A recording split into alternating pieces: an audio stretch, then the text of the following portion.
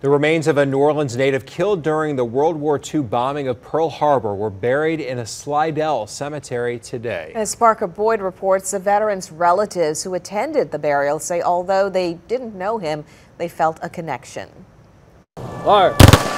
A day of remembrance. Ready.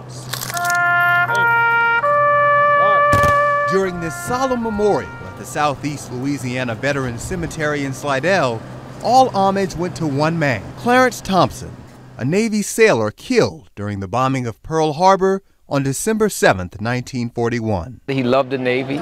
He loved his country. The New Orleans native's remains were returned home more than 80 years later for a proper burial. Trevor Clayton says he recently found out he was Thompson's distant cousin through DNA testing. Clayton says he wanted to be a part of this moment after learning about Thompson's sacrifice years ago.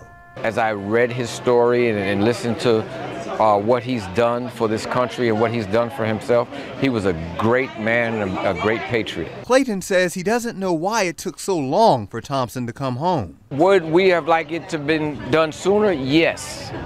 But the fact that it was done, uh, we appreciate it. He was a career guy, and um, he deserves our respect. Rear Admiral Terry Ettinger says Thompson could have retired three years before he was killed. That's one of the reasons why Ettinger says he admires him. He could have taken his chances and gotten out and taken his leave, but he didn't. He stayed in and, and he chose to fight. Ettinger says Thompson served as a ship cook in World War I, then a kitchen supervisor in World War II. And on December 7, 1941, Ettinger says it's believed Thompson was supervising cooks on the USS Oklahoma.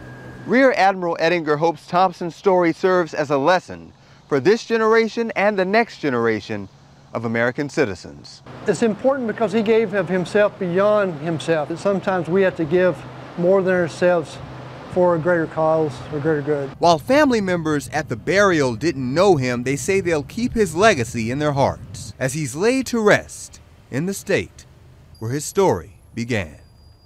In Slidell, Parker Boyd, Fox 8, Local First.